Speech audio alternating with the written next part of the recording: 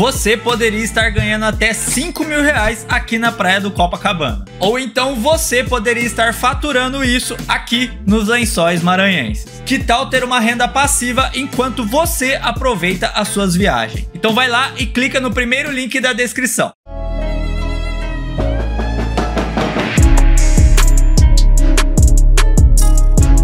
mais ou menos, que eu quero pegar um gancho disso daí para falar uma outra coisa.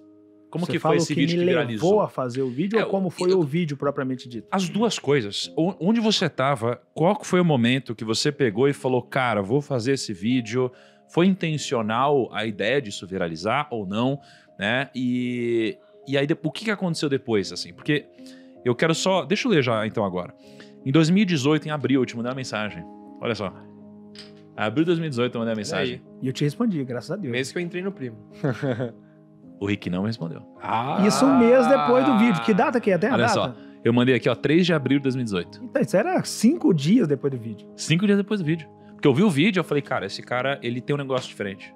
Ele tem um negócio diferente. É, é incrível o que ele falou. É- é- o Brasil precisa disso. Eu, lembro disso. Você não que- foi- eu le- Olha eu esse lembro- cara! Eu lembro disso, eu lembro. Ele- ninguém te conhecia, eu nem sabia seu nome direito. Eu Acho que eu nem sabia seu nome. Eu olhei e falei, cara, olha esse cara. Isso daqui é muito bom o que ele falou, né? E aí eu mandei mensagem, eu falei, parceiro. Eu tentando me entrosar com ele. Porque ele fala parceiro, né? Eu falo, parceiro, tem um canal no YouTube com quase 700 mil inscritos. Caramba, 700 mil. Olha só, 700 Muito mil. bom, primo. Crescendo. E precisamos gravar porque você é o cara. Vamos? Aí não respondeu. Aí depois eu mandei outra mensagem. Ei! Aí não respondeu. Aí mandei outra mensagem. Fala, Rick. Isso daqui, nove dias depois. Aí eu mandei mensagem dois meses depois. Fala, Rick. Bro, me manda seu WhatsApp. Olha só, eu fui, eu fui, eu fui. Aí passou um tempo, aí ele falou: Caraca, sério que eu não sabia disso? Meu Deus e tal. Aí, aí foi, entendeu? Olha que loucura que foi. Então, Rick, lá você se abriu pro mundo, né, cara? Assim. E me conta mais sobre a intencionalidade de ter feito o vídeo e o que você fez e por que você acha que isso daqui espalhou pra tanta gente. E o que, que você aprendeu com isso? Cara, primeiro não tinha intenção de gra- gravar vídeo. Não tinha intenção nem de gravar vídeo. Eu não tinha tempo. Eu não era um cara de rede social que tava gravando vídeo para que se algum deles viralizasse, a partir dali eu não era esse cara. Você não tinha essa mentalidade, não, não, né? não. Eu era um cara que vendia água na praia.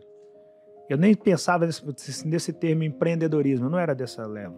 Eu era da leva do trabalhar por conta. Eu tô fazendo o que dá, enquanto dá, até que tem algo melhor do que isso para ser feito.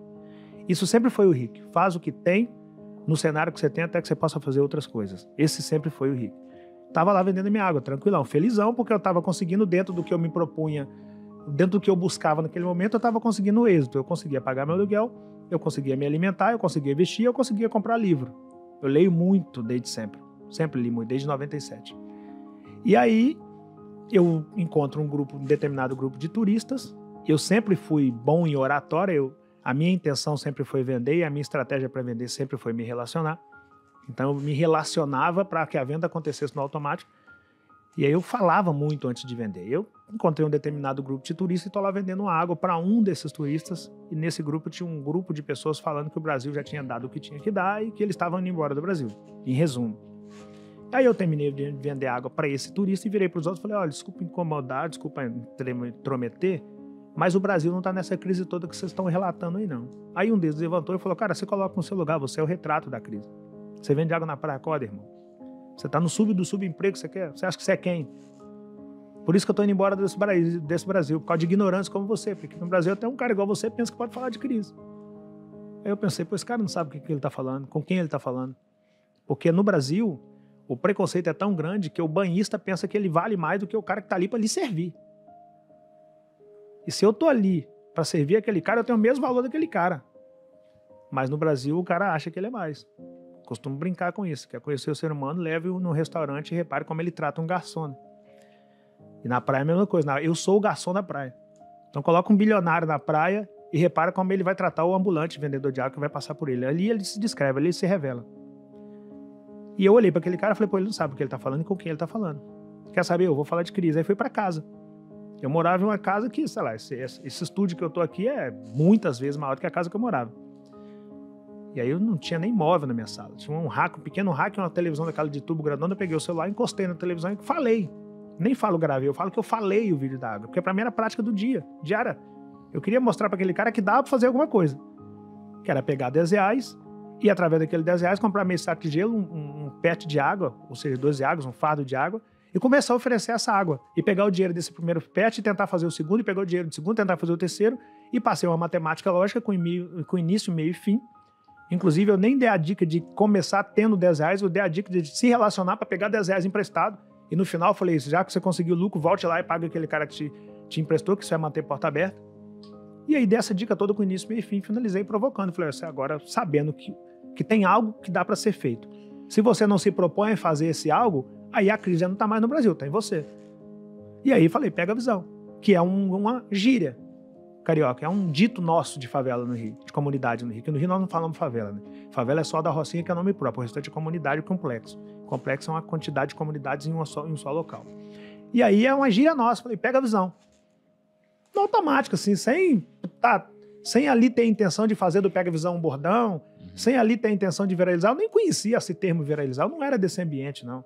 O meu ambiente era areia, meu escritório era praia. E eu tava lá e fiz o vídeo, postei o vídeo e fui dormir. Postou Tinha onde? 800 pessoas no Instagram. Instagram. Tinha 800, 800 e alguma coisa de seguidor quando eu postei aquele vídeo. Quando amanheceu o dia, tinha 8 mil pessoas lá. E aí eu falei, cara, deu ruim isso aqui, vai dar ruim. eu costumo dizer que era muita gente no lugar. E aí eu desci pro centro, falei, nem vou ficar lendo isso aqui não. Tinha, pela primeira vez eu vi minha página com mais 99 mensagens lá para responder. Eu falei, não, nem vou abrir isso aqui, alguma coisa errada eu fiz. Vou pra praia à tarde eu vejo isso aqui. E aí fui pro centro para comprar água. Quando eu chego no centro, o dono do depósito de água vira para mim e fala: Mangueira, o que, que você tá fazendo aqui? A galera me chamava de mangueira por causa da caixa de isopor, porque eu criei uma, uma, uma forma de me diferenciar dos demais. Era todo mundo sem camisa, todo mundo com a caixa branca, todo mundo com óculos na cabeça. Falei, cara, eu tenho que ser diferente dessa galera. Aí eu peguei uma camisa da mangueira, que é a minha comunidade, coloquei um short verde, que tinha a ver com a camisa verde rosa da mangueira, peguei minha caixa, que era branca, e fitei ela toda de verde rosa. Aí de longe dava pra galera me ver. Em geral, começou a me chamar de mangueira. O dono do depósito de água virou e falou: Mangueira, o que, que você tá fazendo aqui? Eu falei: Como assim? O que, que eu tô fazendo aqui? Vim vender água. Ele falou: Cara, o Flávio tá te procurando. Eu falei: Quem é Flávio? Só pra saber. Ele virou pra mim, pegou minha caixa, colocou no chão e falou: Sabe o Orlando City, aquele time que o Kaká joga, que a Marta joga? Eu falei: Sei. É o dono daquele time. Aí eu pensei: Mexi na tartaruga desse cara. Quando você vê uma tartaruga um em cima de uma bilionário me geladeira, procurando. Fala, É, é, o que eu fiz, velho? o cara vai me apagar, né? Se você encontrar uma tartaruga em cima de uma geladeira, não mexe com ela não, porque uma tartaruga não consegue subir em cima de uma geladeira. Foi alguém grande que colocou essa tartaruga lá. Eu pensei, mexi com a tartaruga desse cara. Falei, Thiago, só pode ser. O nome desse cara do depósito é Thiago. Falei, Thiago, só pode ser o vídeo que eu gravei. Quando eu chegar em casa, eu apago esse vídeo. Ele falou, que apaga? Você pirou. Sabe o nome, o, o, a Wiser Educação, o Powerhouse, o meu Sucesso.com, Geração de Valor? Eu falei, sei, é tudo desse cara. Esse cara, em resumo, Mangueira, esse cara é um dos bilionários do Brasil. Esse cara tá te procurando. Pensei, quando eu chegar em casa, eu apago que alguma coisa tem a ver com esse vídeo. Aí ele desanimou de tentar me convencer a fazer contato com o cara e eu fui pra Copacabana. Quando eu cheguei em Copacabana, eu descobri que todo mundo conhecia o tal do Flávio. Ô Flávio, ô Flávio, ô Flávio. Eu não tinha Instagram na rua. O meu plano de internet, eu costumo brincar com isso. O meu plano de internet era daqueles que se você abrir o Instagram na rua, lá se foi dados móveis. Então eu só fui ver a mensagem do Flávio à noite, quando eu cheguei em casa. Quando eu cheguei lá, eu tinha 25 mil seguidores. E uma mensagem do Flávio falou, ó, cara, eu tenho uma página chamada Geração de Valor, meu nome é Flávio Augusto da Silva, e eu não sei se você já ouviu falar em mim ou na página, mas é nessa página eu nunca postei em nove anos um conteúdo que não fosse produzido por mim. E o seu vídeo chegou até mim, e o seu vídeo é tão impactante que eu postei o seu vídeo.